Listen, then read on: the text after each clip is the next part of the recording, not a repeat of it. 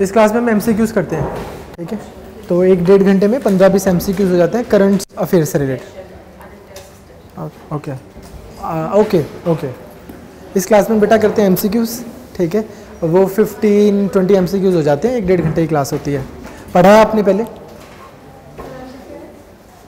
Just हाँ जी हाँ current affairs okay okay okay okay चलो तो okay write down let's start let's start write down consider the following statement जो आजकल न्यूज में रहती है first the GSTN goods and service tax network या GSTN is a non government private limited company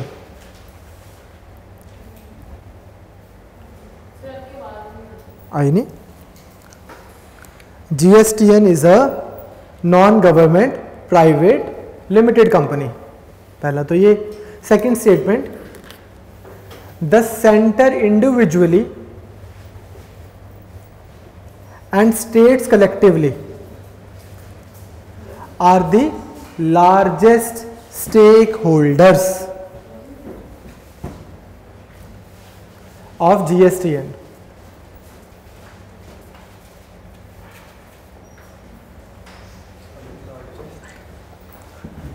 options are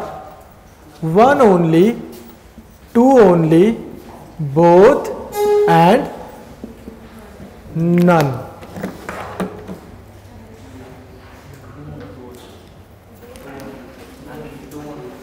Two only हाँ जी two only Chitra both हाँ जी सर बोथ none. वो क्या हो गया आपको ये तो बड़ा सिंपल क्वेश्चन है क्या हो गया जीएसटीएन जो एक कंपनी बनाई गई है कंपनीज एक्ट के सेक्शन एट के अकॉर्डिंगली ये तो चलो खैर इंपॉर्टेंट नहीं है पर एक कंपनी बनाई गई है इसमें 24 परसेंट ट्वेंटी परसेंट शेयर है स्टेक है सेंट्रल गवर्नमेंट का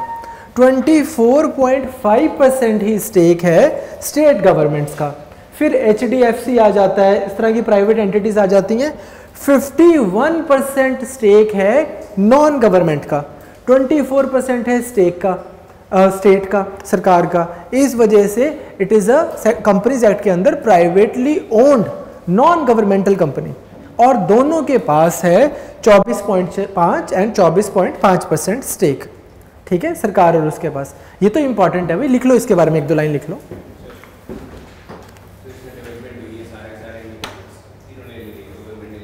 when will when was that ये जुलाई अगस्त में करा रहा हूँ उसके बाद हुई होगी मैं चेक करूंगा ये August August 2018 government has complete stake चलो एक दो चीज़ लिख लो इसके ऊपर GSTN fine fine government has complete stake in it now तो उन्होंने they have bought it all okay I get into that पर जीएसटीएन बस आप एक लिख लो was established established under section 8 of new companies act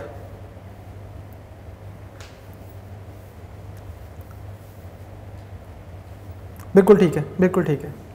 I stand corrected on it ठीक है वॉज इस्टेब्लिश ठीक है under Companies Act in 2013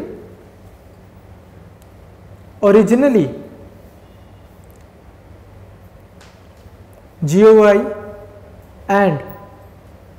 states and UT had 24.5 percent equity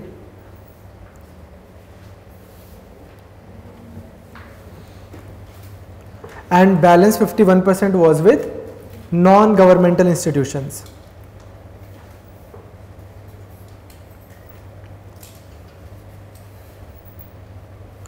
Recently, एक लाइन लिख लो बस recently GST Council decided to convert GSTN into a 100 percent government enterprise.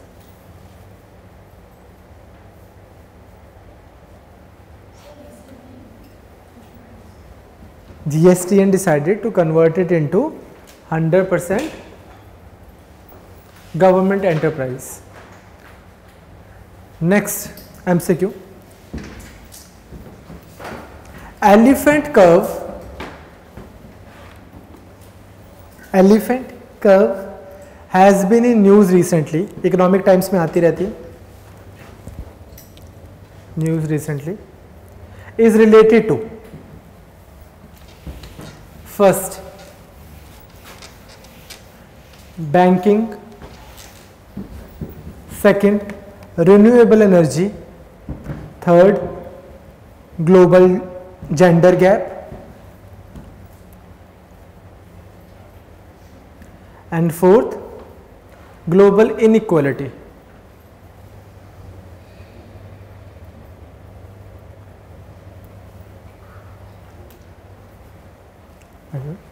two that is हाँ जी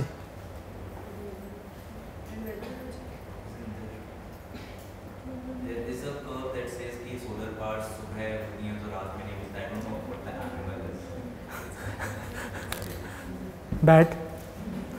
ठीक है okay this is related to income inequality ठीक है सुन लो थोड़ा सा देख लो इस आएगी आपको ना ऐसे कर्व नहीं कभी बना के देंगे ठीक है वो वैस ये है क्या बेसिकली कि जो एक पूरा थीसिस है इकोनॉमिक टाइम्स में आ रहा था इस तरह से कि टारगेटिंग द एलिफेंट कर्व इस तरह के आर्टिकल्स आते थे मई जून की बात है और कहते हैं कि जो ये वाली कंट्रीज़ हैं जैसे emerging economies like India China they are catching up okay but जैसे यूरोप इधर वेस्ट वगैरह में वहाँ पे भी इनक्वालिटी काफ़ी ज़्यादा बढ़ रही है तो 90 परसेंट के पास तकरीबन जैसे हमने दुनिया में अभी भी देखा है हमने पिछले एक दो हफ्ते में में भी हमने इतनी रिपोर्ट्स की हैं ऑक्सफैम की कि दुनिया में वन परसेंट ऑफ पीपल ठीक है नाइन्टी परसेंट यहाँ रह जाते हैं one percent end up having majority तो इस मोर लाइक ऐसे ना इसको प्रॉपर मैं उतना नहीं बना रहा हूँ डॉटेड करके ना ऐसे एलिफेंट बना देते हैं कि हम पेन देन ट्रंक तो एलिफेंट शेप में ये है इसके ऊपर अगर आपको आएगा तो बस इतना ही आएगा क्वेश्चन कि है किससे रिलेटेड ये तो ये ग्लोबल इकोनॉमिक इनइक्वालिटी अमीर और गरीब की डिस्टेंस के बीच में ठीक है कि जैसे ना बॉटम 50 परसेंट जो है उनके पास सिर्फ 12 परसेंट की ही ग्लोबल वेल्थ है एक परसेंट के पास वन परसेंट लोगों के पास 50 परसेंट से ऊपर ग्लोबल वेल्थ है इनकम ऐसी ही बटी हुई है ना कितने सारे लोग गरीब और फिर एक अमीर फिर गरीब एक अमीर ऐसे ठीक है Next write down which of the following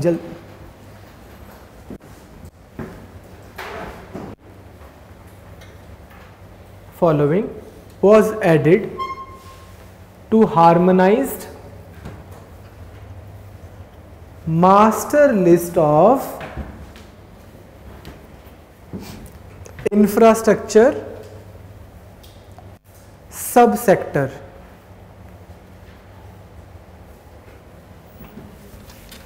subsector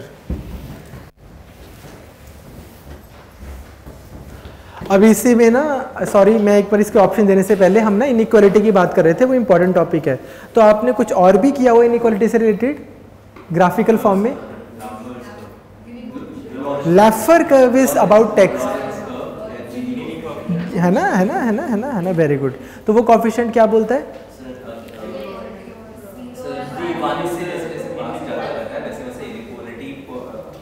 zero is perfect equality true और false one is perfect inequality inequality ठीक है ये याद है आप लोगों को वेरी गुड ये आना चाहिए ठीक है ये रिविजन क्लास ही है तो मैं रिज्यूम करके चल रहा हूँ कि आता है आ, तो वैसे वो है वैसे ही ये है एलिफेंट का भी इनक्वालिटी से रिलेटेड है ठीक है एक याद रख लेना कि एलिफेंट है उसका नाम है जेनी या गिनी ओके okay? ठीक है दोनों इनक्वालिटी वाले हैं तो हाँ इनमें से कौन सा सेक्टर रिसेंटली इंफ्रास्ट्रक्चर के सेक्टर का पार्ट डिक्लेयर किया गया है harmonise list of infrastructure sector कौन सा subsector first is affordable housing second is tourism infra third is strategic storage अब जब बात आई है तो थोड़े से सेंटर से बता दो स्ट्रेटेजिक स्टोरेज के किए थे क्लास में हाँ very good Idukki Jaipur district in Orissa और बीकानेर कर्नाटका यहाँ पे स्ट्रेटेजिक ऑयल रिजर्व्स है वेरी गुड कराया था ना तो strategic reserves next logistic infrastructure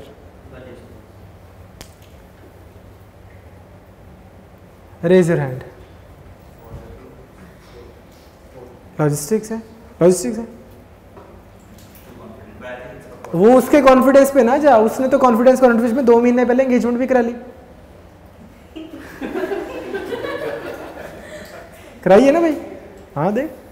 उसके कॉन्फिडेंस पे नहीं जाना अपना आंसर बता अच्छा ये रिकॉर्ड भी हो रहा है सब कुछ हाँ बता फिर affordable housing okay logistics answer is logistics पर रीजन उसका कॉन्फिडेंस नहीं होना चाहिए आंसर लॉजिस्टिक्स ही है लॉजिस्टिक्स लॉजिस्टिक्स को डालने से क्या हो जाएगा लॉजिस्टिक्स को इंफ्रास्ट्रक्चर के सब सेक्टर में हार्मोनाइज सेक्टर में डालने से क्या हो जाएगा वेरी गुड मान लो हमारी कंट्री एक पॉलिसी लेके आती है कि हमने इंफ्रास्ट्रक्चर को बिल्ड करना है उसके लिए हमने स्पेशल पॉलिसीज लेके आनी है जिसमें सरकार बोलती है कि हम ना लोन दे रहे हैं सस्ता आज लॉजिस्टिक इंडस्ट्री को भी मिलेगा कोई एग्जांपल दोगे लॉजिस्टिक इंडस्ट्री का डिलीवरी सर्विसेज ट्रांसपोर्टेशन ये सब ठीक है लॉजिस्टिक्स ही होते हैं तो आज उस इंडस्ट्री को भी सस्ते में लोन मिलेगा सरकार ने मान लो किसी इंडस्ट्री बोल दिया इंफ्रास्ट्रक्चर में हम टैक्स के कुछ इंसेंटिव्स दे रहे हैं कम टैक्स लेंगे हम इंफ्रास्ट्रक्चर वाली कंपनी से तो क्योंकि आज लॉजिस्टिक्स को भी आपने इंफ्रास्ट्रक्चर का सब सेक्टर डिक्लेयर कर दिया तो उनको भी वो टैक्स इंसेंटिव मिलेंगे so all the good kind of incentive that the government is going to provide to the infrastructure sector logistics sector will also be entitled for all of them okay this is the benefit ek do likh lo its inclusion in harmonized list will enable it to enable it to first avail infrastructure lending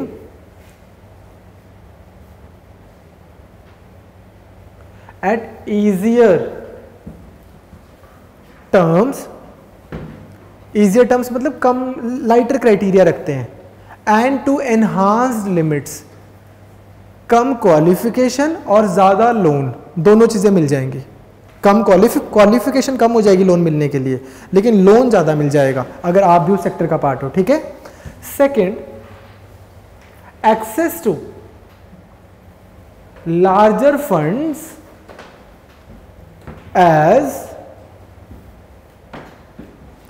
external commercial borrowings infrastructure के लिए बाहर से भी पैसा आ सकता है तो logistics के लिए भी आ सकेगा ठीक है क्लियर थर्ड ये आने के चांसेस ज़्यादा इसके हैं लाइकलीहुड के वो खुद ही बता देगा आपको कि logistics has been recently added what are the possible outcomes और फिर वो ऐसे लिख देंगे ठीक है Third, access to longer tenor funds, TENOR,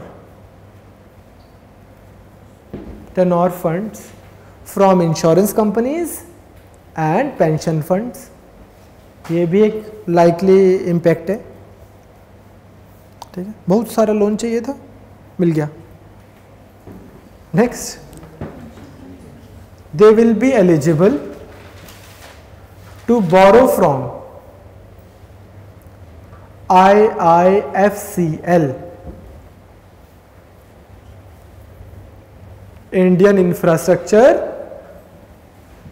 Financing Company Limited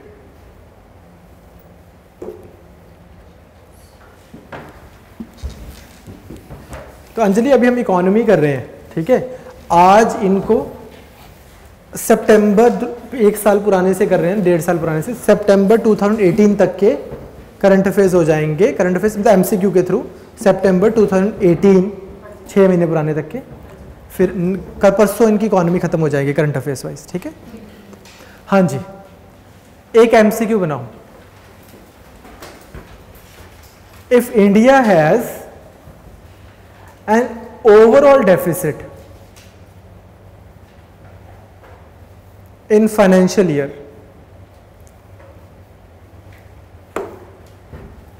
Then, yeah, any country, India या फिर कोई भी country, then it definitely has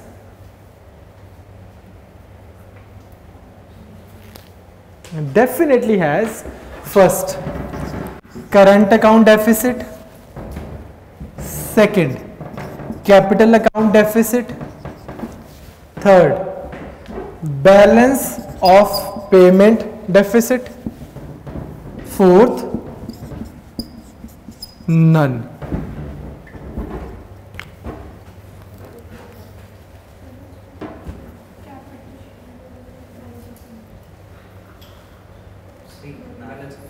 balance of payment हाँ जी सर आप बोलो नन चित्रा बताएगी ये इन्हीं क्वेश्चन करके आना मैंने इंस्टीट्यूट में नहीं घुसने देना बता बेटा शाबाश हाँ जी धीरज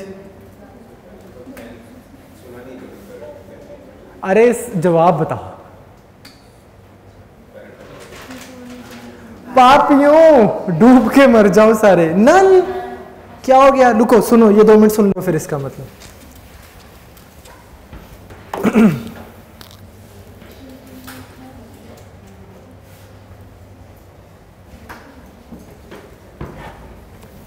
बैलेंस ऑफ पेमेंट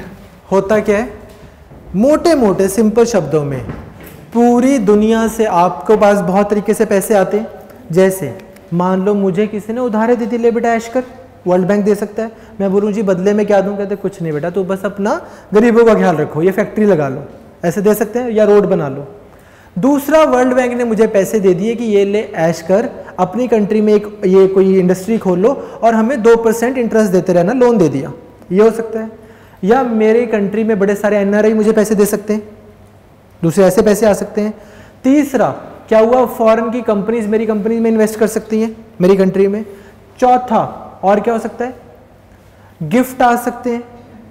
पांचवा मैंने कुछ बेच दिया मैं एक कंट्री में मैंने एक्सपोर्ट किया वो ले गए कुछ खरीद के छवा टूरिज्म आ सकता है लोग आए बाहर से इधर आए यहाँ की चीज़ें लें मुझे पैसे दे के जाएँ कितने तो तरीके हैं मेरे पास पैसे आने के बहुत सारे तरीके हैं तो बैलेंस ऑफ पेमेंट बेसिकली है क्या इसी तरह फिर जाने के भी तो इतने ही तरीके हैं अगर आने के ठीक है इसी तरह इंडिया से भी बाहर पैसे जा सकते हैं जो आपका पूरी दुनिया के साथ ट्रांजैक्शन है उसकी जो मोटी मोटी एक जो शीट बन रही है वो बैलेंस ऑफ पेमेंट है ठीक है इसके अंदर हमने दो अकाउंट्स बनाए होते हैं एक को हम बोलते हैं करंट अकाउंट और एक को बोलते हैं कैपिटल अकाउंट ठीक है अब ये जो एक आपको ट्रिक बता रहा हूं ये फॉर्मल नहीं है एकेडमिक नहीं है प्योरली एग्जाम के लिए तुक्का बता वो बता रहा हूं कि अगर कंफ्यूज हो जाओ कोई भी पैसे जो आपके पास आए और आप बैठ गए आराम से लेके कुछ वापस नहीं करना वो कहाँ जाएंगे करंट अकाउंट में कोई भी पैसे जिस जब वो आएंगे तो या तो प्रेजेंट में या फ्यूचर में कुछ ना कुछ वापस देना पड़ेगा वो आएंगे कैपिटल अकाउंट में और इसको चेक करते हैं इसके अंदर अब करंट अकाउंट में फॉर एग्जांपल मैंने फॉरेन की कंपनी में ये फॉरेन में ऑस्ट्रेलिया में ये चेयर बेच दी और मेरे को पैसे आ गए बस बात खत्म हो गई ये पैसे आ गए ना मेरे पास अब मेरे को ना इस पैसे को कोई इंटरेस्ट देना ना कभी वापस करने तो जितना भी ट्रेड किया मैंने गुड्स में वो इधर आएगा सिमिलरली मान लो मैंने लेक्चर डिलीवर किया और किसी ने अमेरिका में बैठ के ले लिया अब ऐसा तो नहीं है ना कल को बोलेगा अपना लेक्चर वापस ले लिया और मेरे पैसे वापस दे दे आई होप नहीं हो सकता होगा ऐसा ठीक है तो जितना मैंने ट्रेड किया सर्विसेज में अब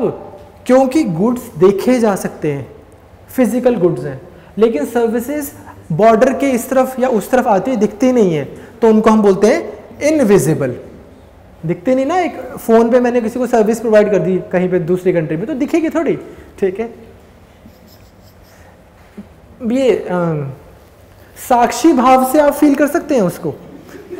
परोक्ष रूप में नहीं दिखेगी like you know like you know like there is no physical manifestation तो ये हो गया क्लियर यू अंडरस्टैंड सिमिलरली मेरे को किसी ने बाहर से गिफ्ट भेज दिया अब वो वापस तो नहीं करना होगा होपफुली ठीक है गिफ्ट्स इधर आ जाएंगे मेरे को किसी ने ग्रांट्स दे दी मेरी कंट्री को वो भी इधर आ जाएंगे ग्रांट्स वापस थोड़ी होंगी आप समझ रहे हो मैंने किसी कंट्री में पैसे लगाए हुए थे मुझे इंटरेस्ट आता है उसका वो इंटरेस्ट मेरे को वापस तो नहीं भेजना तो trade in goods trades in invisibles और इन सबको हम डाल देते हैं ट्रांसफर्स में and transfers these form the part of current account current account याद रहेगा simple second capital account capital account में क्या होएगा मैंने लोन्स रेज किए ठीक है मैंने बाहर से एक्सटर्नल कोई कमर्शियल बोरोविंग्स किए हैं वो सारी लॉन्ग टर्म में अब मैं क्यों लूंगा किसी बाहर की कंट्री से इतना ज़्यादा लोन अगर मैंने कुछ कैपिटल क्री, इंफ्रा क्रिएट करना होगा कुछ कैपिटल रेस करनी होगी तो ये वाले आते हैं इधर इसमें कुछ इंटरेस्ट भी दिया जाता है और ना भी देना हो तो इवेंचुअली मुझे पैसे तो देने ही है वापस इसका एग्जाम्पल देखो छोटा सा मेरी कंट्री को पैसों की ज़रूरत है मेरी कंट्री ने अमेरिका को बोल दिया ये लो मेरी कंट्री का एक पेपर खरीद लो बदले मुझे पैसे दे दो और इस पेपर पे मैं लिख के दे रहा हूँ कि मैं आपको पाँच साल बाद ये पेपर वापस ले लूँगा आपसे आपको पाँच साल बाद आपके पैसे भी वापस कर दूंगा और पाँच परसेंट इंटरेस्ट भी दे दूंगा इसी पीस ऑफ पेपर को हम बॉन्ड बोलते हैं बॉन्ड यही होता है कि ये ले भाई पेपर भी मैंने लिख के दे दिया सिंपलेस्ट टर्म में देसी भाषा में बता रहा हूँ ऐसा ही होगा तो वो भी इधर आ जाएगा ठीक है याद करने की जरूरत नहीं है कि कौन सा इधर आ रहा है कौन सा इधर आ रहा है ऐसे पागल नहीं होना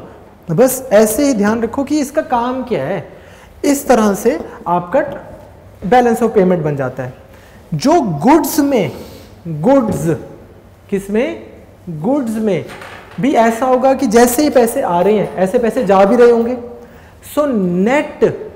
एक्सपोर्ट जितने मैंने गुड्स खरीदे जितने मैंने गुड्स बेचे पैसे जितने आए जितने गए नेट एक्सपोर्ट्स को हम क्या बोलते हैं balance of trade trade balance is the net goods का ट्रेड बैलेंस क्लियर है अब मैंने आपसे सवाल पूछा कि अगर बैलेंस ऑफ पेमेंट है पक्का एक चीज़ होएगी इनमें से कौन सी होएगी मैंने बोला करंट अकाउंट तो पक्का ही डेफिसिट होएगा आपको क्या पता क्या पता ये पॉजिटिव हो हिंदुस्तान में ज़्यादा पैसे आ रहे हैं ठीक है और ये नेगेटिव हो मैंने बोला ये तो पक्का या फिर दूसरी ऑप्शन थी ये पक्का होगा आपको कैसे पता ठीक है यू अंडरस्टैंड तो नन ऑफ दी अब में मतलब ये था कि हमें कैसे पता कि यार ये चीज़ पक्का होएगी बैलेंस ऑफ ट्रेड कैसे कैसे बैलेंस ऑफ पेमेंट निकला मेरे मुँह से अच्छा I meant to say balance of trade okay then I stand corrected अगर थर्ड किसी ने इस वजह से किया कैपिटल वाला क्लास के बाद क्लास के बाद ठीक है अभी इस क्लास का पर्पज़ समझना है ठीक है समझ वैसे थोड़ा बहुत समझ आ गया कि करना क्या है एग्ज़ाम है कि यही है कि आपको अगर समझ नहीं आ रहा है कहाँ डालू इसको मैं तो देखना करूँगा क्या मैं इसका और मेरी लाइबिलिटी क्या होगी इसमें इफ़ यू थिंक ये तो बस खा लेने पैसे पार्टी होगी भी तो इधर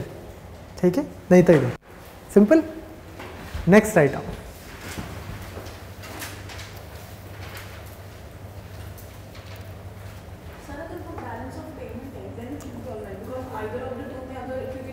तो कैसे कैसे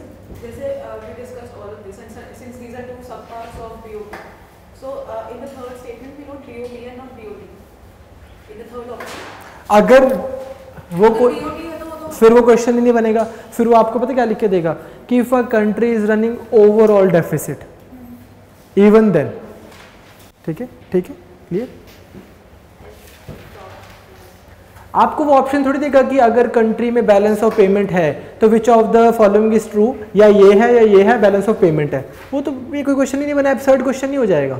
मेरे मुंह से पेमेंट निकल गया I went to say balance of trade ठीक है समझ रहे हो ऐसे नहीं करना next write down which of the following factors अब जिसने इकोनॉमी रिवाइज नहीं की वो थोड़ा स्ट्रगल कर रहा होगा मेरे को लगता है ना कोई बात नहीं रिवाइज करो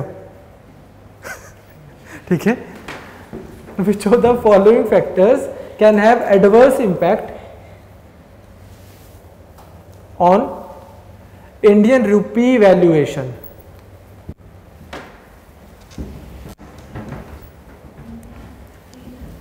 ਰੂਪੀ ਵੈਲਿਊਏਸ਼ਨ ਤੁਹਾਡੀ ਕਰੰਸੀ ਦੀ ਕੀ ਵੈਲਿਊ ਹੈ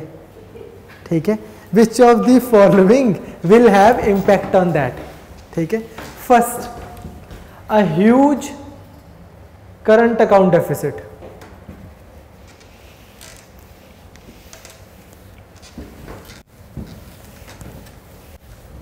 ठीक है second F P I foreign portfolio investment F P I outflow बोला है third inflow of F D I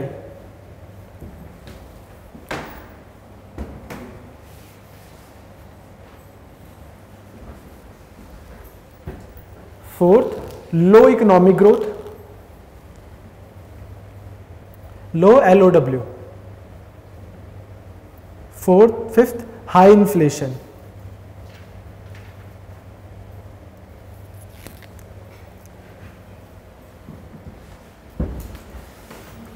First, 1, 2, 4 and 5. Second, yeah, B, A, B. 1, 2, C. 1, 2, 3 and 4. D, all of them.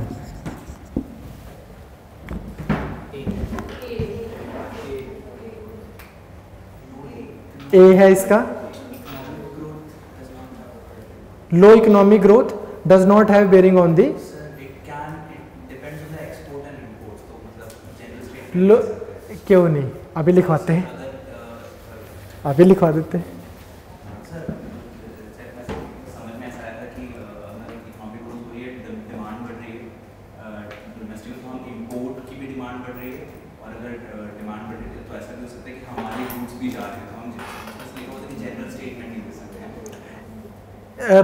Statement नहीं लिख सकते इसलिए general statement लिख सकते हैं ठीक है अभी समझा देता हूँ कैसे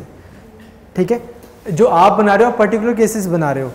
पर्टिकुलर स्टेट उल्टा है आपका रीजन ठीक है इन्फ्लुएंस गलत हो रही है सुनो कैसे पहली चीज अभी बता देता हूँ आपको कैसे पहली चीज अगर किसी कंट्री में बहुत करंट अकाउंट डेफिसिट है तो उनकी इकोनॉमी की करेंसी अफेक्ट होएगी क्यों उनको ज़्यादा डॉलर चाहिए होंगे डेफिसिट पे ऑफ करने के लिए तो उनकी करेंसी की वैल्यू कम हो जाएगी पहली चीज़ अगर उनकी कंट्री से एफ जा रही है बाहर तो कम होएगी क्यों हाँ हाँ बाहर जा रहे हैं पैसे तो again you need foreign currency बाहर के लिए रुपी सरप्लस हो रहा है मार्केट में तीसरी से हम मान के चलते कि inflow of F D is not a इससे कुछ नहीं होएगा अगर एफ आएगी तो उससे अफेक्ट नहीं होएगा बल्कि बाहर से लोग आएंगे डॉलर लेके बोलेंगे रुपया दे दो डॉलर ले लो हम यहाँ पे इन्वेस्ट कर देते हैं तो ये तो नहीं हो गया ठीक है चौथा अगर लो इकोनॉमिक ग्रोथ है तो क्या होएगा मन एक सेकेंड हाँ जी हाँ जी इकोनॉमी डाउन होएगी वेरी गुड तो उससे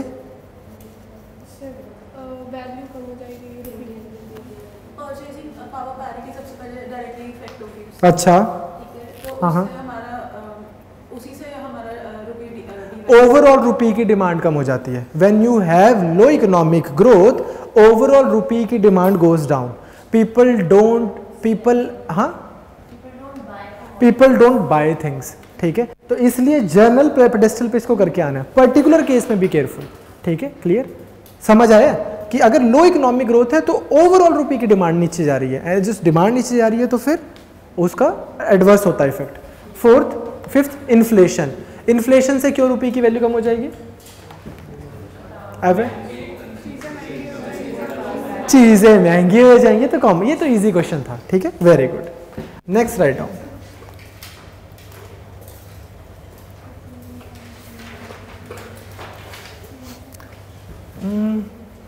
which of the following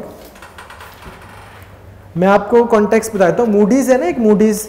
जैसे वो है Moody's Standard and Poor CRISIL this and that तो मूडीज ने इंडिया की रैंकिंग फ्रॉम 75 टू 73 थोड़ी गिरा दी थी तो उससे कॉन्टेक्स्ट में आपको क्वेश्चन बना रहा हूँ which of the following following will have positive impact on economic growth of India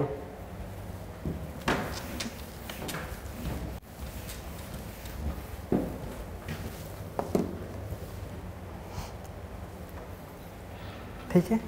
कुछ अच्छा हो इकोनॉमिक ग्रोथ के लिए positive impact which of the following first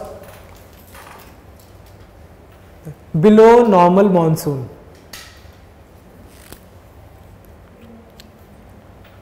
below normal normal monsoon ठीक है second increase in crude oil prices third increase in rural consumption and fourth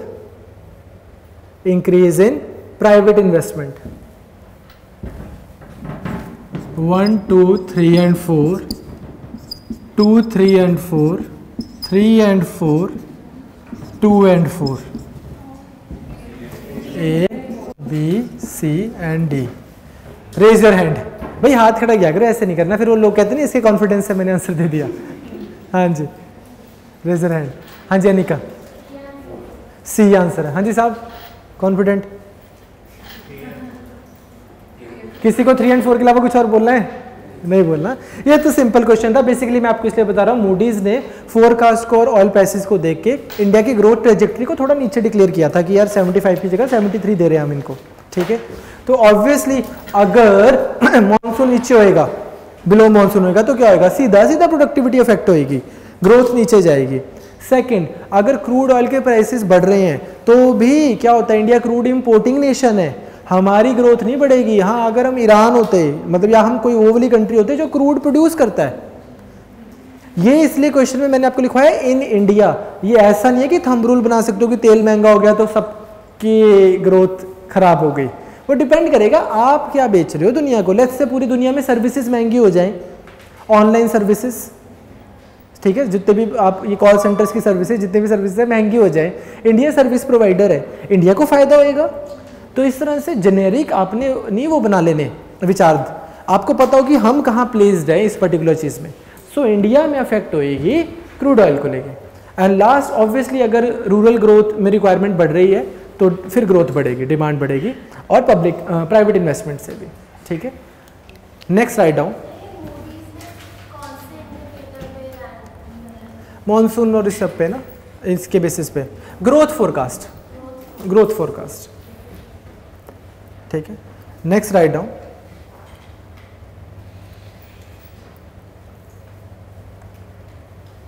under GST statement one है ये under GST a transporter should carry an e-way bill while moving goods from one place to another.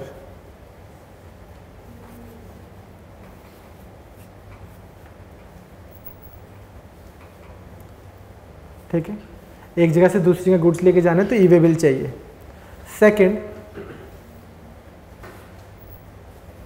the requirement the requirement to carry E way bill is must if goods are worth more than thousand rupees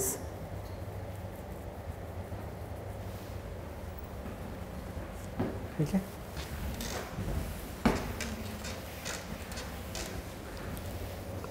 one only two only both और none पक्का both है fifty thousand rupees है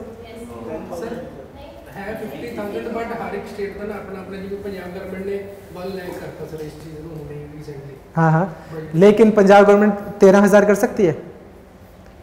Punjab government पचास हज़ार से नीचे कर सकती है नहीं सर क्योंकि हाँ हाँ हाँ, हाँ हाँ हाँ हाँ हाँ हाँ इफ़ मोर देन लिखा है मैंने आपको पचास हज़ार से ऊपर कर सकते हो आप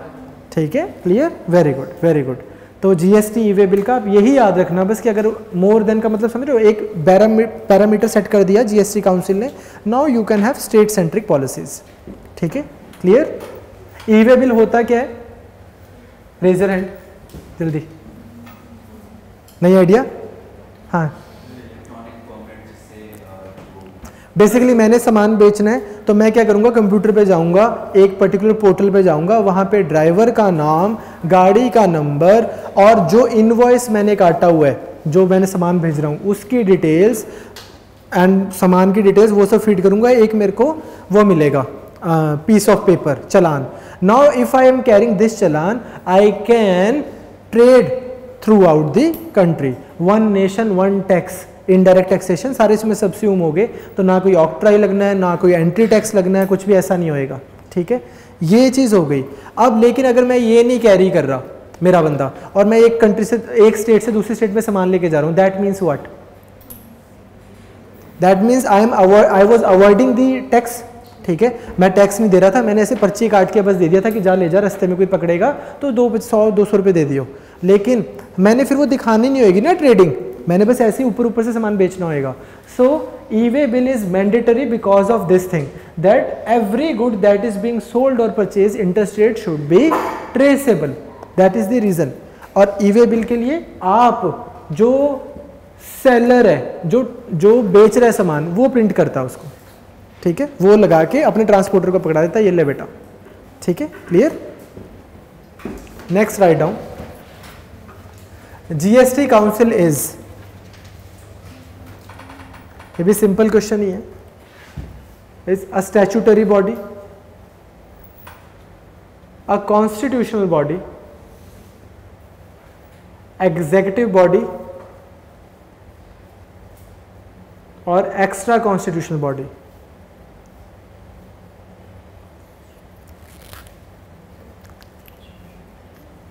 raise your hand Anavdeep.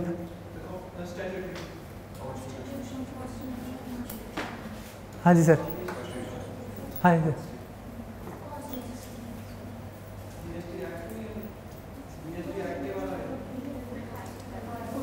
हाँ जी करना आंसर बेटा हाँ एक्स्ट्रा कॉन्स्टिट्यूशनल तो बिल्कुल भी नहीं है ठीक है कॉन्स्टिट्यूशनल बॉडी कॉन्स्टिट्यूशन अमेंड करके उसके अंदर लिखी गई है कॉन्स्टिट्यूशन बॉडी जीएसटी काउंसिल जिसके अंदर क्या होता है वन थर्ड किसके पास है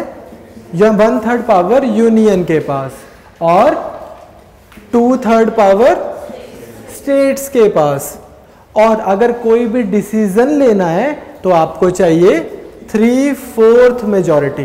कहने का भाव क्या है कि मान लो आज हमने जीएसटी को लेके कोई अमेंड करने हैं रूल्स आपको तो कराएंगे आपकी तो अभी पॉलिटी शुरू हुई है आज दो दिन हुए ठीक है ये अभी कराएंगे आपको दस पंद्रह दिन में ठीक है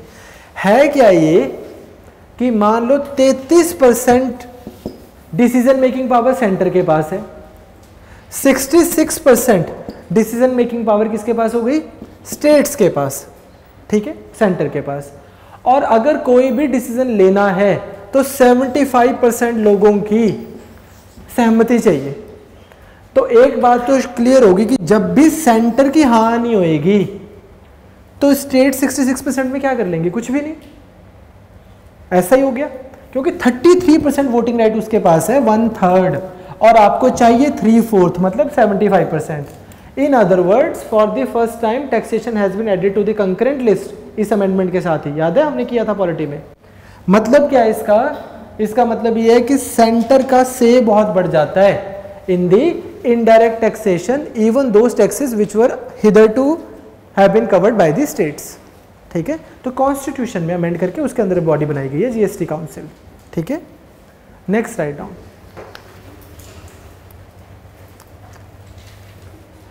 consider the following regarding small finance banks छोटे छोटे से बैंक स्मॉल फाइनेंस बैंक पहला it was first given the concept was first given by Nachiket Mor committee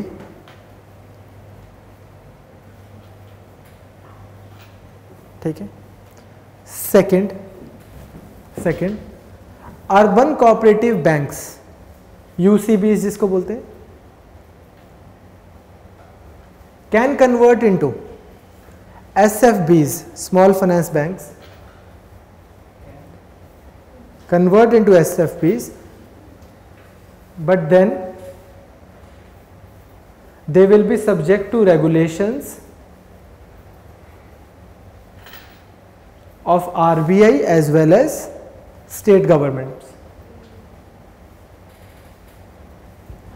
Cooperative banks भी कन्वर्ट हो सकते हैं लेकिन फिर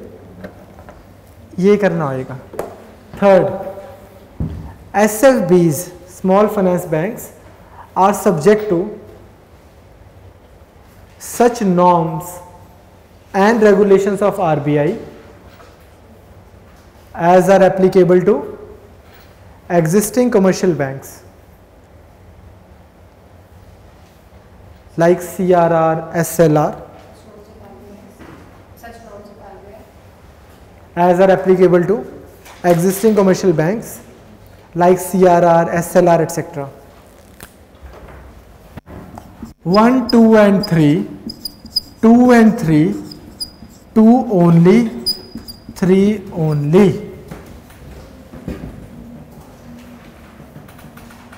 A, B, C, D. Raise your hand three only गरज सारे हैं भाई टेंशन की लेते हाँ जी का ध्यान ओके नवदीप तीन है ओके पहली चीज़ ये तो आई एम श्योर आपको रा, राघव सर ने कराया होगा जब स्मॉल फाइनेंस बैंक कराया होगा कि रघुराम राजन की कमेटी थी 2009 की वो भी क्या नाम था उसका फाइनेंशियल सेक्टर वो F S L R C reforms के अंदर था फाइनेंशियल सेक्टर लेजिस्लेटिव रिफॉर्म्स के अंदर नचिकेत अद्दा ही कुछ भी बोल दो बस है ना नचिकेत मोर का कोई लेना देना नहीं है इस कमेटी का ये थी रघुराम राजन कमेटी 2009 में 2015 में पहला बैंक बना था आइडिया 2009 में आ गया था स्मॉल फाइनेंस बैंक का तो पहली स्टेटमेंट तो गलत है उसकी वजह से ऑप्शन गलत हो गई दूसरी चीज सुनो दूसरी चीज अर्बन कोऑपरेटिव बैंक्स हैं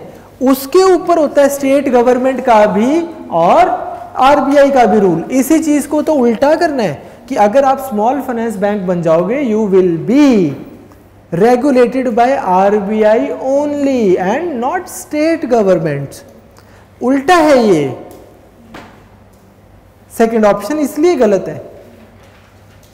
ठीक है sir third option small finance banks होते क्या स्मॉल फाइनेंस बैंक्स का क्या होता है पेडअप कैपिटल वगैरह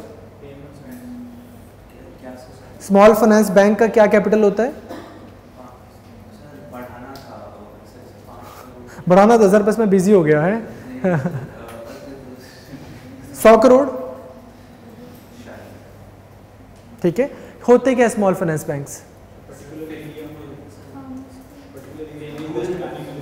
बोल बोल बोल पचहत्तर percent of their lending should go to priority sector lending ये तो तुम उसकी फीचर बता रहे हो हाँ स्मॉल फाइनेंस बैंक क्या होते हैं लिखो जल्दी ठीक है एक चीज ने ठीक बोली है कि particular area small finance banks are niche banks N I C H E niche banks नीच नहीं नीश ठीक है usually usually serving the underserved underserved areas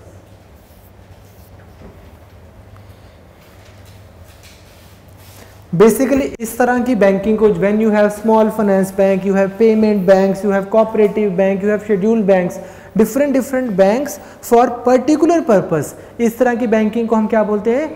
differentiated banking differentiated banking क्योंकि हर एक बैंकिंग का एक अपना niche area area where it operates और एक पर्पज है डिफरेंशिएटेड बैंकिंग के अंदर आ जाता है स्मॉल फाइनेंस बैंक नॉर्मली इनको जो अंडर सर्व्ड हैं माइक्रो इंडस्ट्री स्मॉल इंडस्ट्री उनको छोटे छोटे लघु उद्योगों को इनको लोन देने हैं ठीक है ज़्यादातर लोन इनको प्रायोरिटी सेक्टर लैंडिंग में ही देने हैं जैसे वो बता रहे हैं तो अगर ये लोन दे सकता है तो ये पिटी मच हर वो काम कर सकता है जो कोई भी बैंक कर सकता है ठीक है ठीक है clear write down S F Bs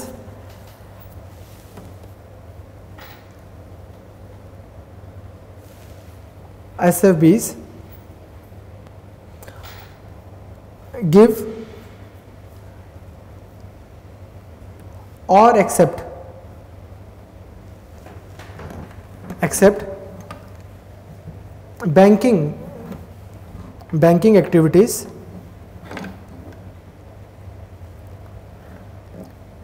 to underserved and under underserved लिख लो बस अंडरसर्व सेक्शन ये लिख लिया ना especially the unorganized sector entities. Lik lik here. Individuals with 10 years of experience in finance, experience in finance, NBFCs, local area banks, etcetera are eligible to set up S F Bs next minimum paid up equity capital shall be hundred crore next promoters minimum initial contribution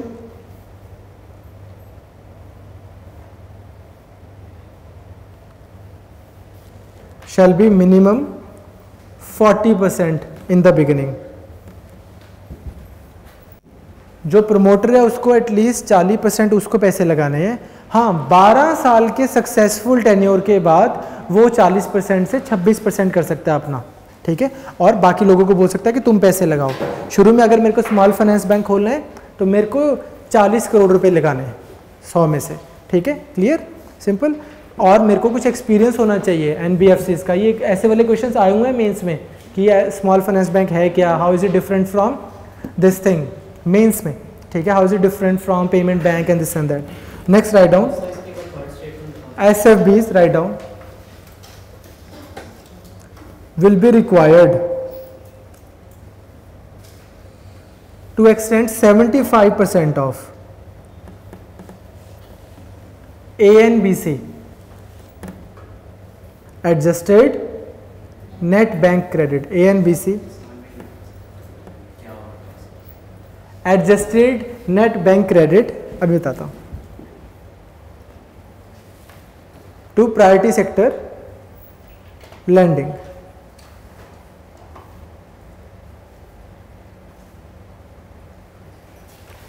Next, at least 50 percent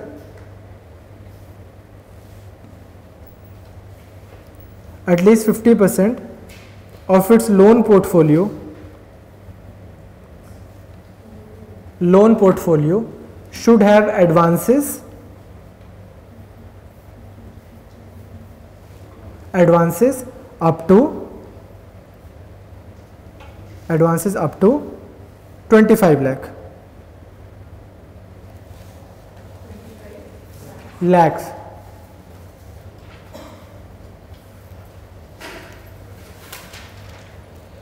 हाँ जी adjusted net bank rate आपको भी आएगा नहीं क्या होता है सलारिया पढ़ाइए इकोनॉमिक्स में बता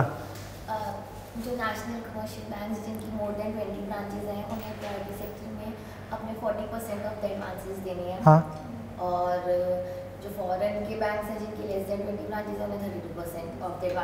वो तो ठीक है हाँ एडजस्टेड नेट बैंकिंग रेट क्या है यही है यही है है क्या बेसिकली मेरा जो क्रेडिट है जो मेरे पास पैसे हैं प्लस जो मैंने नॉन एस पैसे लगाए होते हैं उसका उसको लेते हैं उसकी वैल्यू का ट्वेंटी परसेंट या thirty percent that is adjusted net credit आएगा नहीं कभी एक लाइन लिख लो फिर भी अगर कभी खराब किस्मत हो ठीक है write down adjusted net bank credit It is the net bank credit plus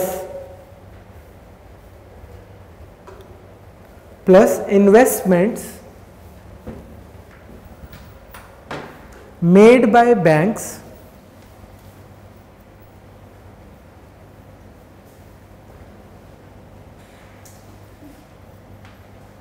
investment made by banks in the non SLR bonds.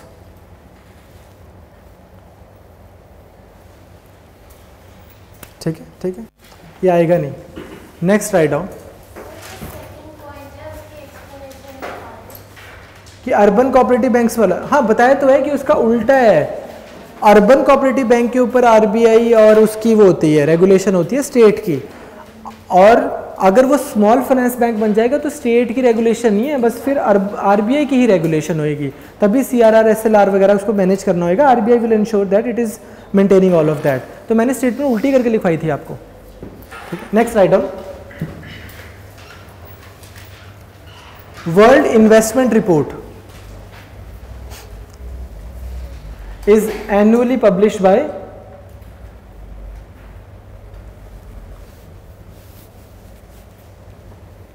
First World Bank, second OECD,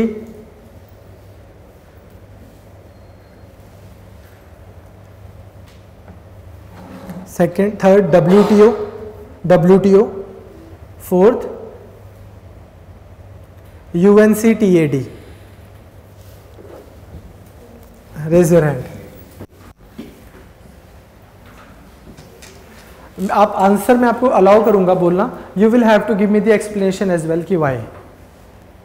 ठीक है हाँ जी बोलो ही आंसर इधर डी क्या होता है इसमें अच्छा आज ही इकोनॉमी खत्म हुई है अच्छा अच्छा इस करके मेरे को याद है वेरी गुड और कोई हाँ अच्छा answer A B C D D इसका आंसर है बिल्कुल ठीक आंसर इसका डी है क्यों क्योंकि लाइक ही सेड उसका मैंडेट है वो हर साल सन उन्नीस से हर 91 हर साल वो रिपोर्ट निकालता है यू एन और world investment report which essentially deals with foreign investment तो कोई वो सिलेक्टेड टॉपिक ले लेता है कि फॉरेन इन्वेस्टमेंट के ऊपर ये हो रहा है वो हो रहा है कुछ भी ऐसा और उसके ऊपर वो रिपोर्ट देता होता है ठीक है वेरी गुड राइट डाउन आगे तो ये तो ये नहीं गलत होना चाहिए ये पता होना चाहिए ये आ सकता है ठीक है एक आधा क्वेश्चन आता है ना ऐसे रिपोर्ट ये वाली कौन निकालता है ये तो अगर ये आ गया तो it will be considered as an easy question ठीक है next write down a bad bank bad bank refers to बुरा बुरा बैंक बैड बैंक ये भी बहुत खबरों में रहा पिछले साल पूरे ठीक है refers to first a bank which has more than five percent of its loan categorize as NPA एक ऐसा बैंक जिसने लोन्स दिए और लोगों ने लोन वापस नहीं किया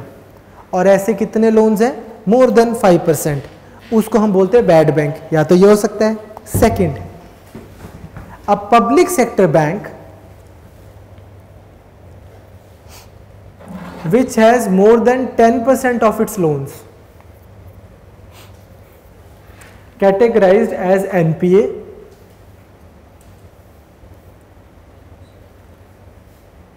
for three months straight तीन महीने हो गए तीन महीने के बाद ही एनपीए डिक्लेयर होता है बंदा ठीक है तीन महीने हो गए और ऐसे नहीं हो रहा हाँ ऐसे ही होता है तीन महीने तक अगर कोई कॉल नहीं आ रही कोई कॉल नहीं जा रही हो गया ठीक है नेक्स्ट लोन नहीं आ रहा अब आपका वापस next write down a variant of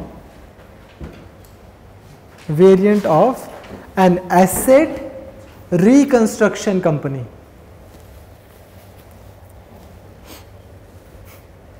ठीक है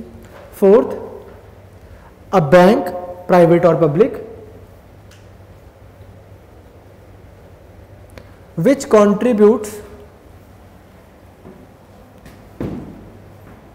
maximum to the stressed assets in the country कि वो बैंक जो दुनिया में कंट्री में सबसे ज़्यादा Nirav Modis of the world create कर रहा है स्ट्रेस एसेट्स बढ़ाई जा रहा है बढ़ाई जा रहा है रेजर हैंड अच्छे से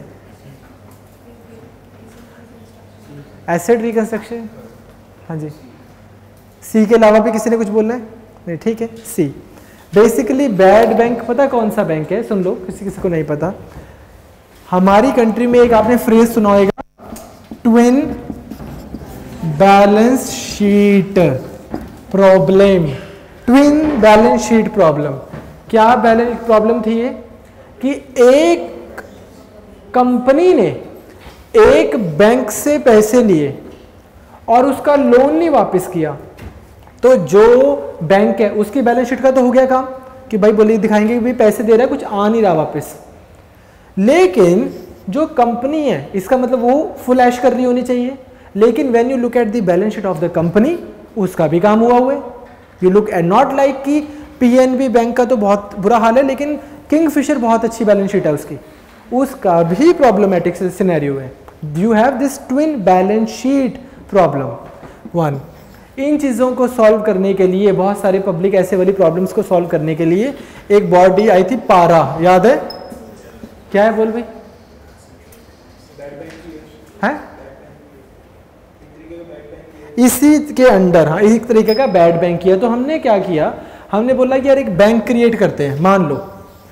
जितने भी बैंक्स हैं और उनके जितने भी ऐसे वाले लोन्स हैं जो रिकवर नहीं हो रहे जो लोग पैसे नहीं वापस कर रहे वो सारे लोन्स को यहाँ पे ट्रांसफ़र कर देते हैं now you have one blanket with all the bad loans out there that bank has specialization ये हो गया आपके बाकी बैंक सारे इनको आप फंड कर दो दोबारा और इनको अच्छे से रेगुलेट करो और इनको बोलो ढंग से लोन दो यार और ढंग से इकोनॉमी चलाओ अब ये एक रह गया एक थर्ड पे एक बैंक रह गया जो बैड बैंक है इसके पास स्पेशलाइजेशन है घटिया प्रोजेक्ट से या तो उनको लिक्विडेट करके पैसे लेके आने की या फिर सबको जो भी लोन्स वोन्स थे उसको फाइनलाइज करने की लोगों की चीज़ें बेचने की और पैसे लेके आने की जो भी चीज़ें आपको चाहिए या फिर बस लॉस खाने की कि यार ये लोन ना ख़राब आ गया हमारे पास उसका कुछ नहीं हो सकता कहीं और से पैसे कमाते हैं दिस बैंक हैज़ दी जैसे होता है ना कि कोई कोई चीज़ आप जैसे बिल्डिंग्स में आप देखते हो किसी बंदे की महारत ही यही है कि वो मलबा उठाता है है ना ऐसे कि बिल्डिंग तोड़ दो और वो सारा कुछ जंक ले जाएगा वैसे ये पिटी मच वैसे वाला हो गया ठीक है कि जितना भी इकोनॉमिक बैंकिंग मलबा है वो ये उठाएगा there exist this separate bank this is the bad bank ठीक है clear next write down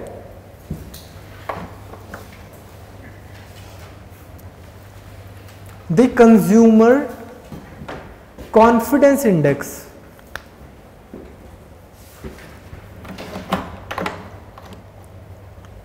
is conducted by first RBI, second Ministry of Corporate Affairs, third Ministry of Consumer Affairs,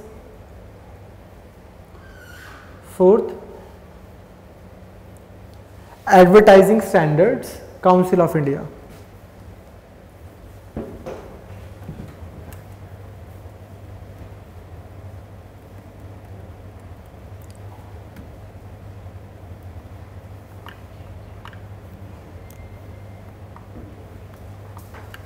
हाँ जी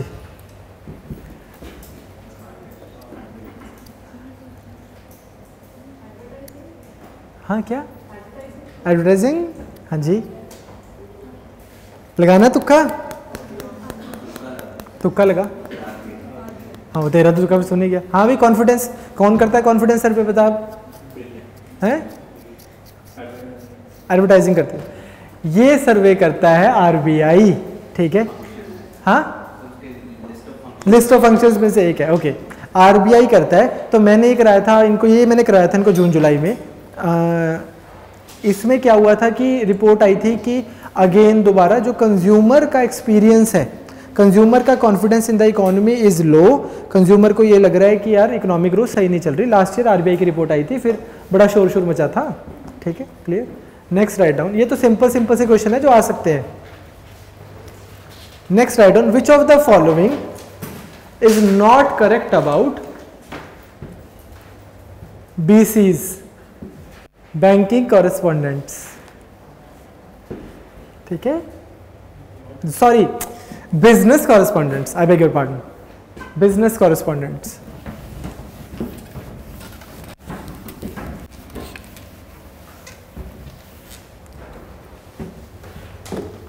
ठीक है पहला write down only retired individuals या retired employees like teachers और other government employees can be designated as BCs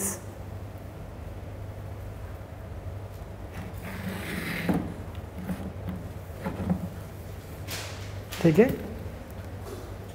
कि आप सिर्फ रिटायर्ड गवर्नमेंट एम्प्लॉयज़ को ही बोल सकते हो कि ये बहुत बीसी है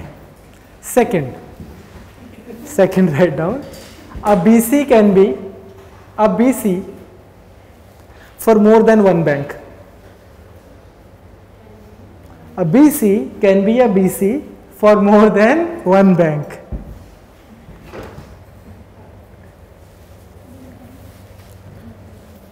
next the distance between the place of business of a BC and the specific bank branch should not ordinary be be more than 30 kilometers.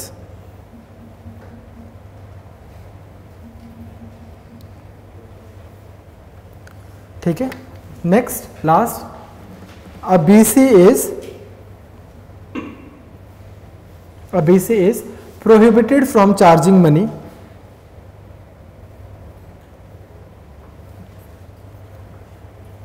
charging money or fees to the customers directly directly on behalf of behalf of bank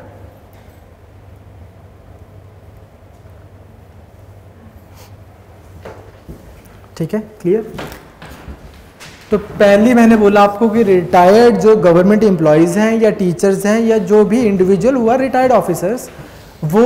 business correspondents बन सकते हैं पहली option ये है दूसरा उन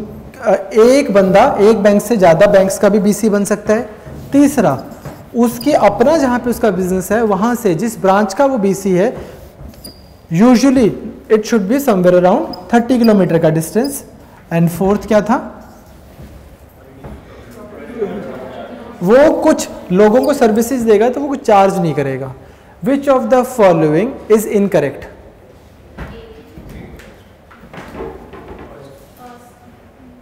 कोई और आइडिया नहीं है अच्छा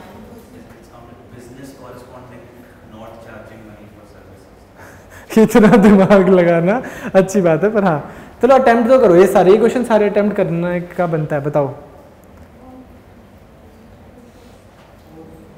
बिजनेस कॉरेस्पॉन्डेंट होता क्या है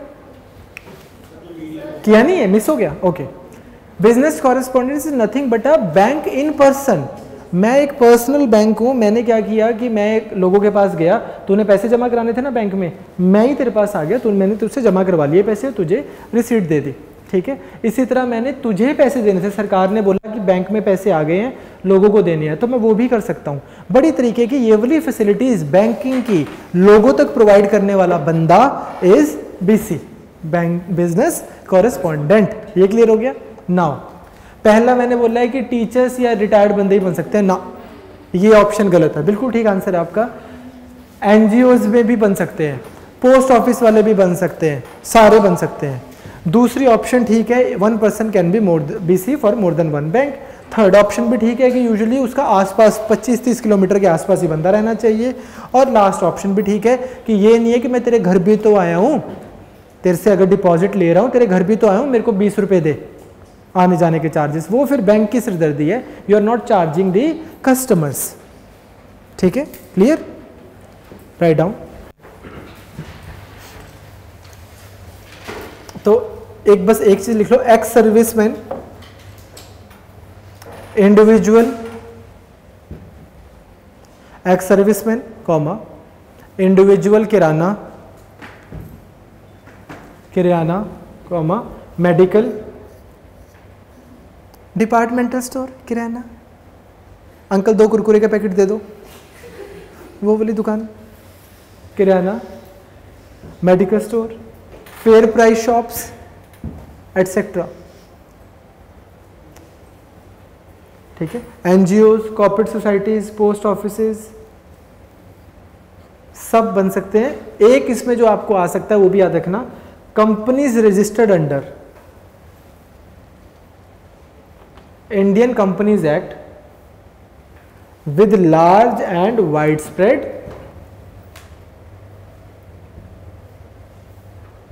large and widespread retail outlets. मान लो मैंने रिलायंस फ्रेश करके एक कंपनी खोल रखी है जो पूरी हिंदुस्तान में उसका नेटवर्क है हमारी कंट्री में ना इतना है नहीं otherwise if you go to Europe you have Europe में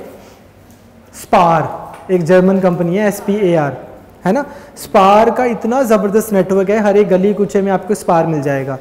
अगर आप ब्रिटेन जाओगे यू विल हैव टेस्कोज बरीज उनका बहुत ज़्यादा अच्छा नेटवर्क है if you go to U S you will have this Walmart अगर यूरोप में वॉलमार्ट वाला आजदा के नाम से चलता है ए एस डी ए है ना तो ये सब के बहुत अच्छे नेटवर्क्स हैं थ्रू आउट क्या हो गया अच्छा तो वो सब जैसे हैं वैसे वाले ठीक है वो भी बन सकते हैं next question right down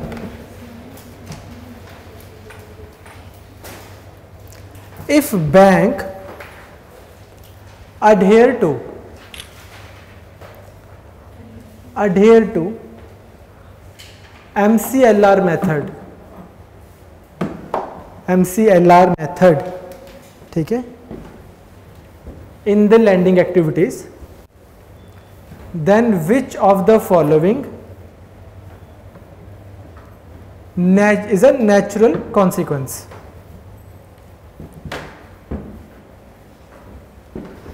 First,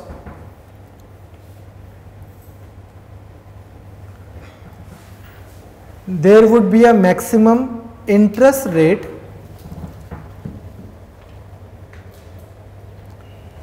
above which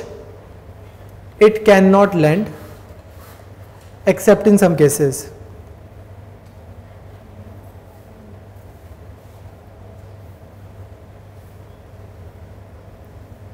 ठीक है Next, there would be a minimum interest rate below which bank cannot lend except in some cases.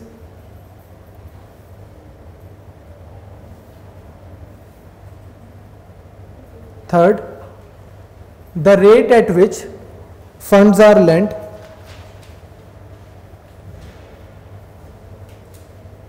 will become less sensitive to changes in policy rates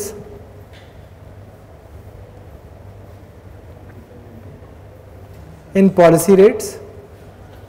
and last none of the above.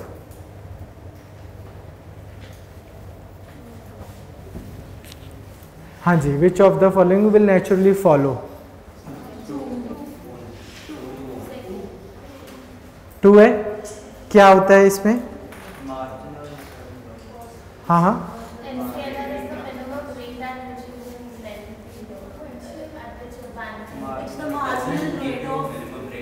हाँ हाँ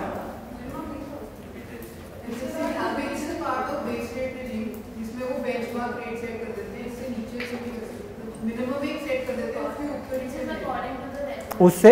ऊपर ही देना है तो उससे क्या हो जाएगा कंपेरेटिव रहते हैं तो इसका मतलब सरकार की पॉलिसीज जो होंगी उससे सेंसिटिव होएगा ये है ना very good very good so right down बिल्कुल ठीक है बिल्कुल ठीक है लिख लो एक दो लाइन है है मार्जिनल लिख लो ये लिख लो एक लाइन हम्म। अरे पहले में मैक्सिमम बोला है कि ज़्यादा से ज़्यादा तुम इतना इंटरेस्ट ले सकते हो दूसरी राइट ऑप्शन है जिसमें मैंने बोला कि कम से कम इतना तो लेना ही लेना है ठीक है मार्जिनल कॉस्ट ऑफ फंड्स लिख लो ये भी अगर नहीं किया हुआ marginal cost of funds based lending rate refers to the minimum interest below which it can't lend ये तो लाइन में भी लिखा था चलो नेक्स्ट लाइन लिख लो एक दो important it is an internal benchmark और a reference rate for the bank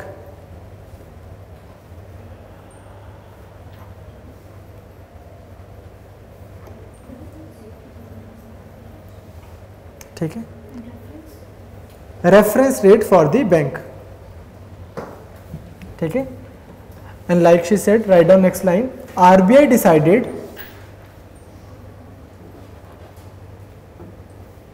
RBI decided to shift from base rate to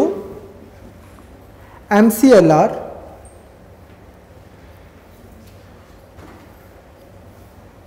as the rate based on M C L R या marginal cost या are more sensitive मैंने वहां पे लिखवाया था options में less sensitive are more sensitive to changes in the policy rate marginal cost are more sensitive to changes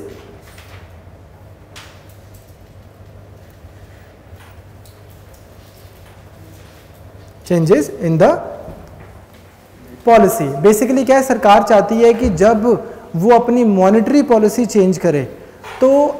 banks की जो लैंडिंग सिस्टम है वो उस हिसाब से चेंज हो जैसे जैसे हम अपनी मॉनेटरी पॉलिसी चेंज करें उससे क्या होएगा जिस ऑब्जेक्टिव से हम अपनी मॉनेटरी पॉलिसी देंगे वो ऑब्जेक्टिव मीट होने में हेल्प होएगी बेसिकली क्या है कि जब आप बेस अगर आप सेंसिटिव नहीं रखते हो पुराने टाइमों में जैसे आज से छः सात साल पहले की भी बात बता रहा हूँ एक प्रॉब्लम आती थी जिसको हम बोलते होते थे ट्रांसमिशन प्रॉब्लम ट्रांसमिशन प्रॉब्लम में क्या हो गया कि मान लो मैं आर बी आई हूँ मुझे लगता है लोगों को ना मैंने अभी इन्फ्लेशन की कोई प्रॉब्लम नहीं है लेकिन एम्प्लॉयमेंट की प्रॉब्लम लग रही है मेरे को लोगों को पैसे देने हैं मैंने क्या करूँगा मैं ईजी मॉनिटरी पॉलिसी फॉलो कर दी मैंने सस्ते में लोन दे दिए बैंक्स को बैंक्स ने लोन आगे दे रखे हैं या आगे देने हैं बैंक्स अब मैं एक्सपेक्ट कर रहा हूँ कि मैंने बैंक्स को सस्ते में दे दिए बैंक्स लोगों को बोलेगा कि भाई सस्ते में लोन ले जाओ क्योंकि उसको भी पीछे सस्ते में मिल रहे हैं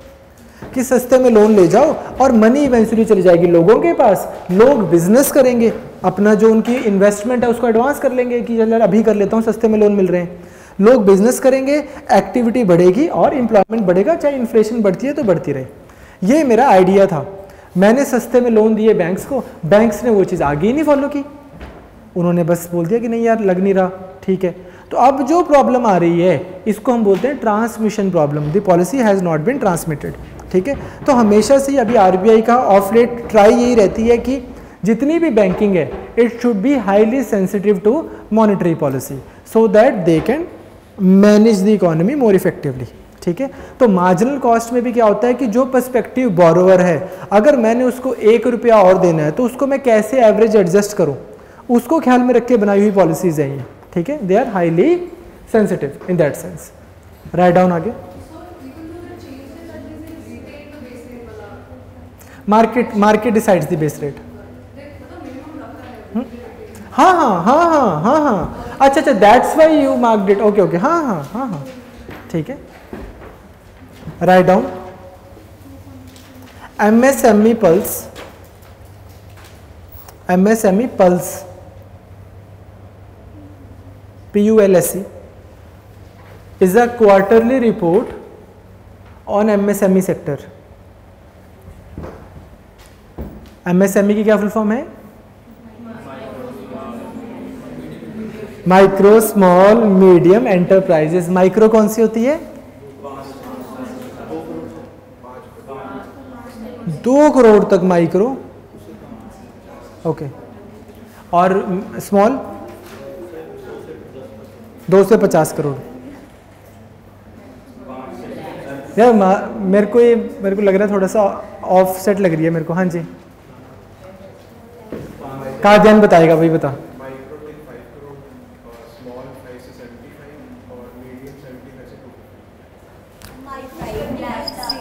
माइक्रो मीडियम स्मॉल हाँ ओके ओके ओके ठीक है इसको चेक कर लेना यार ये आज यू हैव चेक हाँ बताओ हाँ that make sense small scale industry है हम तुम यार करोड़ों में बात माना तुम चंडीगढ़ के अमीर लोग हो ठीक है हाँ micro twenty five lakh small is small is twenty five five C R बिल्कुल ठीक हाँ ये डेट रैंक्स बेल हाँ फाइव टू टेन करोड़ ठीक है एम एस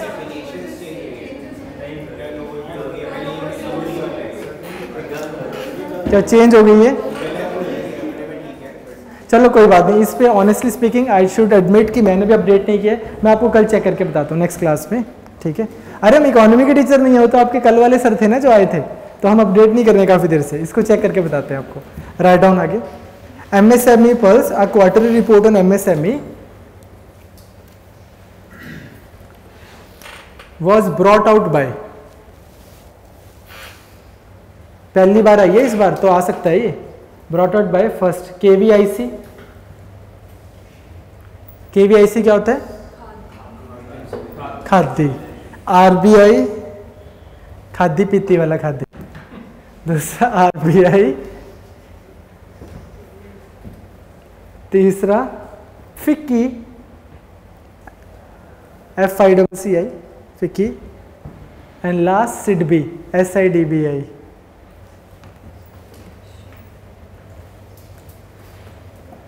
हाँ जी मेरे कि इसका फोर होना चाहिए नहीं तो हाँ हाँ जी खादी वाले बेचारे कहाँ रिपोर्ट्स दे रहे हैं है ना हाँ दूसरा क्या था आर बी आर बी ऐसी हरकतें नहीं करेगा तीसरा क्या था फिक्की फिक्की भी यार थोड़े बिजी लोग हैं सिट भी लग रहा है ना है ना तो चलो इन इन अंदाजों से क्वेश्चन ना करना वैसे ठीक है ये आखिरी हथियार है जब आप कर रहे हो ना कि एक तो मैंने अगले साल अच्छे से तैयारी करनी है जब जब आप पेपर करते हो उस स्टेज पे पहुंचे हुए हो तब करनी है वाली हरकतें ठीक है एक तो अगले साल तैयारी करनी है एक मैं आज शाम को ब्रेकअप कर रहा हूँ और एक और एक वो बस अब पढ़ना है वो तब करना है ये सब कुछ अदरवाइज अगर पता है तभी अटैम्प्ट करना है ठीक है सिट बिल next write down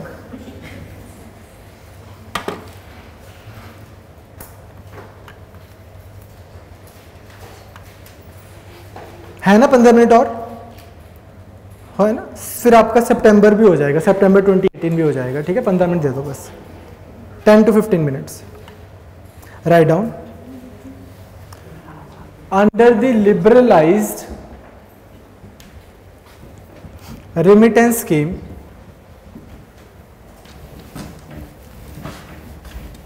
under the liberalised remittance scheme first remittances up to ढाई लाख यूएसडी पर financial year for some current और capital account transaction is permitted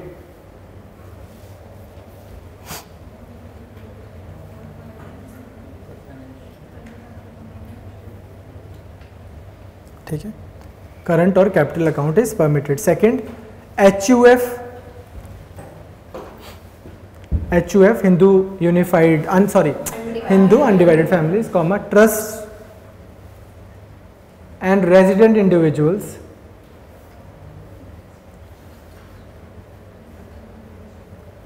resident individuals can freely remit money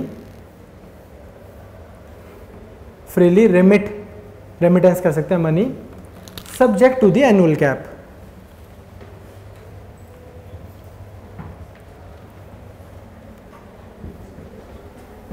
ठीक है इस क्वेश्चन में भी एक लॉजिक बताना आपको कि पेपर करते हुए कैसे करना है ठीक है क्या क्या मैंने सेकंड स्टेटमेंट रिपीट करना है एक बार H U F and resident individuals okay okay can also do it all of them can do it subject to the annual limit which is ढाई lakh USD one only two only both and none हाँ भाई idea नहीं है दीपिका हाँ जी अजय देवगन हाँ बहुत है हाँ जी योगेश जल्दी जल्दी जल्दी ओके सुनो भाई इसका अब इसका लॉजिक बता देता हूँ आप बोथ क्यों कर रहे हो और यूपीएससी आपका आंसर गलत क्यों करेगा इसका है नहीं ये लॉजिक है ये पॉलिटी में भी यूज़ होगा हिस्ट्री में भी यूज़ होगा सब जगह यूज़ होगा लॉजिक सुनना वन ओनली वन ओनली इसका आंसर क्यों है क्योंकि पहली चीज़ तो ठीक है ढाई लाख डॉलर तक आप एनुअली लेके आ सक रहे हो लेके जा रहे हो कैपिटल अकाउंट करंट अकाउंट में दूसरी ऑप्शन में मैं जो कंसिस्टेंटली देख रहा हूं आपके क्वेश्चन गलत हो रहे हैं मैंने लिखा एच यू एफ़ दूसरा मैंने लिख दिया कंपनीज मान लो तीसरा मैंने लिख दिया resident individuals etcetera can subject to annual limit they can remit money अब ये जो लिबरलाइज स्कीम है ये सिर्फ रेजिडेंट इंडिविजुअल्स के लिए ही है ना कि एच या बाकियों के लिए ना मैं बोल रहा हूं ये स्टेटमेंट गलत है क्यों क्योंकि इनके लिए नहीं है आप बोल सकते हो सर ये स्टेटमेंट ठीक है क्योंकि इसके लिए तो है आपने ये भी तो लिखा है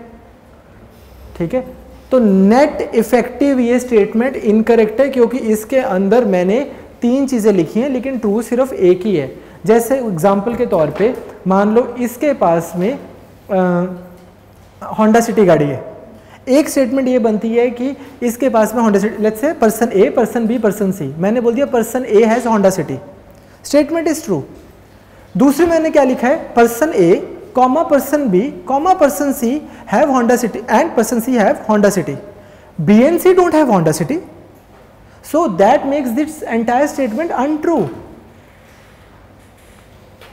you understand ये चीज़ मैंने नोटिस की आपके आंसर्स में पॉलिटीज में पॉलिटी के आंसर्स में आपने बड़ों ने मार्क किया हुआ ऐसे करके कि statement is partially true of course it is but partially false and that makes it effectively false ठीक है ये ध्यान रखना करते हुए तो इसलिए आप देखो हो ही गया ये भी क्वेश्चन सबका गलत इसी वजह से एच यू एफ नहीं है या ट्रस्ट वगैरह के लिए स्कीम नहीं है this scheme is available to resident individuals including minors for resident individuals next question which of the following is incorrect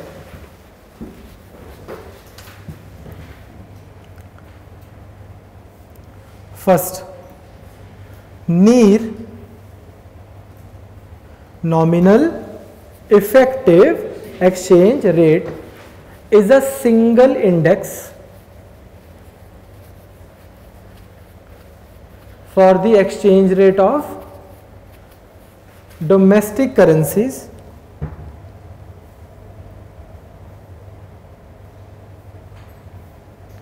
against other currencies.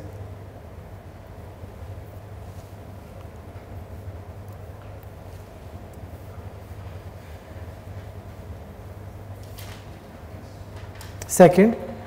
REER, the real effective exchange rate,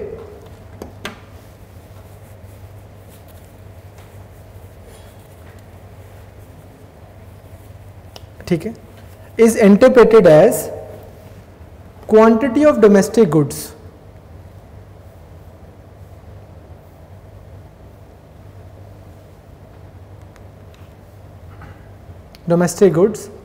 required to purchase 1 unit of given basket of foreign goods.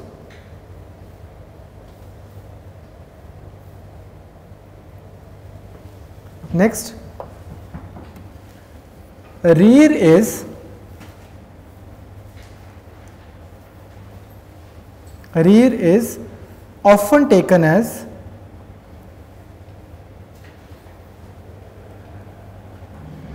often taken as countries international competitiveness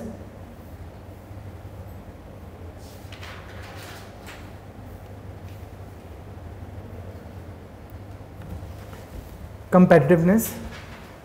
and next none of the above question is which of the following is incorrect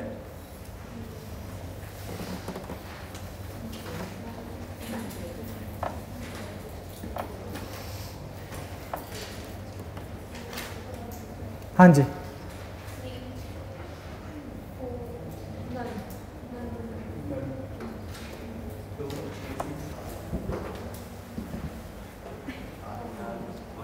सोच लो कोई बात नहीं एक minute ले लो ये आ सकता है ये क्वेश्चन एज इट इज़ भी आ सकता है इकोनॉमी के आपको हम कम क्वेश्चन करा रहे हैं हम ट्राई ये करें कि आप सोचो थोड़ा सा ना नहीं तो मैं कितने कितने क्वेश्चन कर रहे थे हम एक क्लास में बस परसों से फिर शुरू कर देंगे एक क्लास में तीस तीस चालीस चालीस क्वेश्चन करना economy I want to process हाँ जी करना है अटैम्प्ट एनीबडी जिनका आंसर डी नहीं है वो बताओ कि कोई ना कोई स्टेटमेंट इनमें आपको इनकरेक्ट लग रही है कौन सी वाई अगर आपको रीर पता है क्या है तो आपको पता ही लग जाएगा आंसर क्या है हाँ जी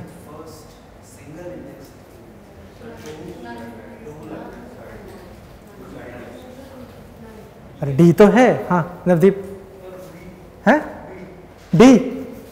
हाँ हाँ वो तो है ही है answer is D very good ठीक है ऑफ कोर्स डी पहले में क्या प्रॉब्लम है भाई पहली स्टेटमेंट क्या बोल रही है मल्टीलेटरल सिंगल मल्टीलेटरल है उसको क्यों मिक्स कर रहे हो आप तभी लिखवाया मैंने ये डिड आई से यूनिलेटरल फिर I didn't say unilateral I did not say that ठीक है सेकंड स्टेटमेंट में कोई प्रॉब्लम नहीं है किसी को थर्ड में क्यों प्रॉब्लम है अनिका रेडिट मैंने अगेन एक चीज़ मैं आपको रिपीटेडली बोल रहा हूँ एक चीज़ मैं आपको रिपीटेडली बोल रहा हूँ कि don't trace question don't don't kind of back yourself on your memory back yourself on your like back it on your understanding मान लो कोई चीज़ है वो चार डॉलर की है किसी कंट्री में ठीक है और इंडिया में वो एक रुपये की हो जाती है मान लो एक्सचेंज रेट है एक रुपया चार डॉलर ठीक है तो पचास अगर वो लेनी है तो कितने इंडियन रुपीज चाहिए होंगे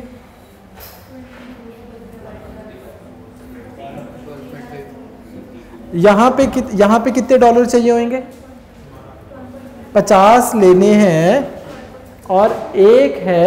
मान लो चार रुपए का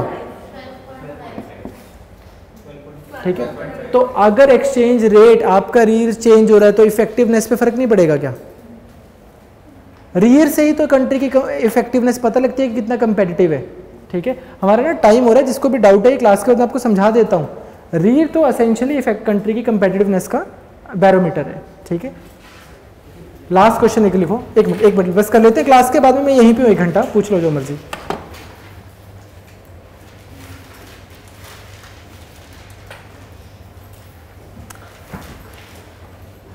in India derivatives instruments are permitted and regulated by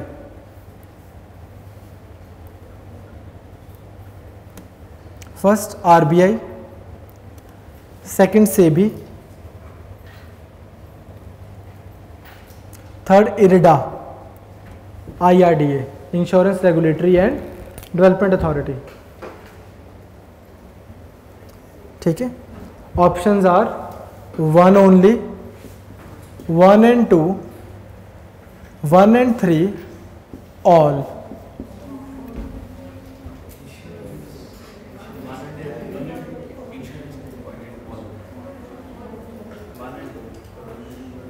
चलो कौन सा प्रोडक्ट है डेरिवेटिव जो इरेडा में मैनेज करती है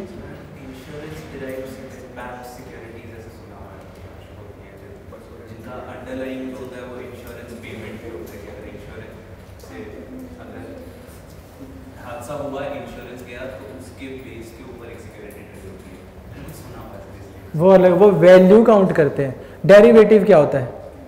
चलो खैर आंसर बताओ भी जल्दी वन एंड टू ठीक है एक और बॉडी अभी बताता हूँ क्या बोल रहे हैं आप एक और बॉडी होती थी जिसका नाम होता था फॉरवर्ड मार्केट कमीशन एफ वो भी मैंने आपको बताया था वो भी डेरिवेटिव थे वैल्यू डिराइव उसको सेबी से मर्जर हो गया था तो सेबी और ये पहले आप डेरिवेटिव समझो क्या है हमने लास्ट क्लास में भी आई थिंक बात की थी द वैल्यू कोई भी ऐसी चीज़ जिसकी खुद की वैल्यू नहीं है but is deriving value from something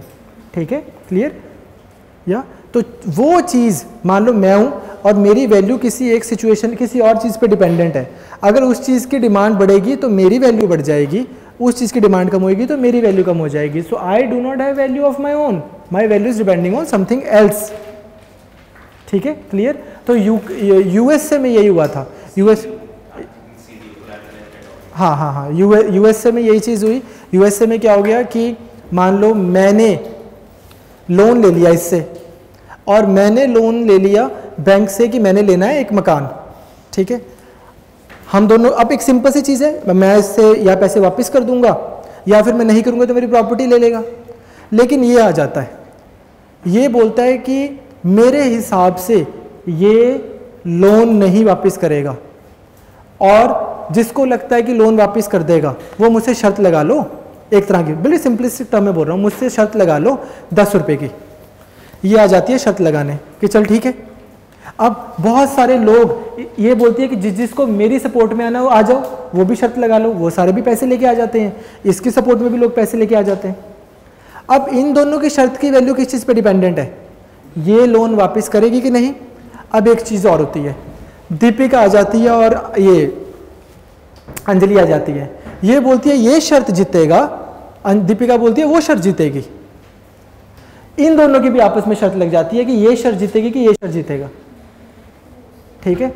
जिसकी वैल्यू इवेंचुअली डिपेंड करेगी कि वो लोन वापस करेगा कि नहीं करेगा फिर एक और लेयर क्रिएट हो जाती है कि दीपिका शर्त जीतेगी कि अंजलि शर्त जीतेगी इस चीज की शर्त लगा लेते हैं सो ऑल दीज यही तो हुआ सब प्राइम क्राइसिस में सबको लगा कि यार this this is just going to go over and over and over कोई प्रॉब्लम नहीं आएगी एक जो है ना लोगों ने जो लोन लिए हुए हैं वो वापस करेंगे नहीं करेंगे उसका रिस्क आगे आगे जाता रहा आगे आगे जाता रहा हमें तो हमारे पैसे मिल गए तुम्हें तुम्हारे पैसे मिल गए लोन्स में शर्तों के through eventually the entire market got part of it तो इसको हम क्या बोल रहे हैं डेरिवेटिव ये एक तरह का है यही ऑल इंक्लूसिव डेफिनेशन नहीं है ये एक एग्जाम्पल दिया मैंने दैट इनकी शर्त did not have any value of its own इनकी शर्त डिपेंडेंट ऑन इनकी शर्त इनकी शर्त did not have value of their own they dependent on us so these tradings these trades transaction derive their value from our value derivative ठीक है right down बस एक लास्ट लाइन है फिर चलते हैं so, और इसमें भी ना एक और चीज़ परमिटेड एंड रेगुलेटेड टर्म को भी ख्याल रखना है ना तो इरिडा परमिटेड एंड रेगुलेटेड नहीं होती अगर even if they come up something like that derivatives में लिखो right down derivative is financial instrument first whose value changes in response to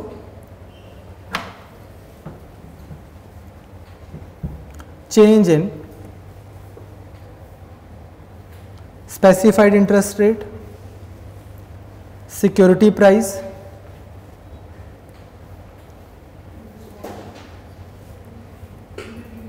specified interest rate security price commodity price or any underlying variable.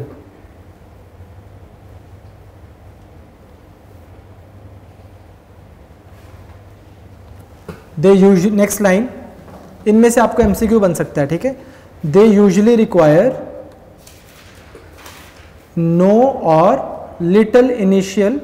investment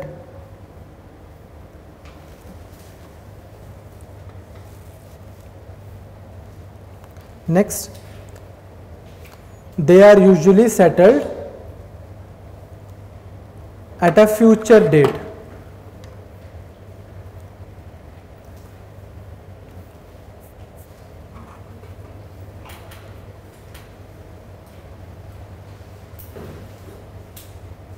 ठीक है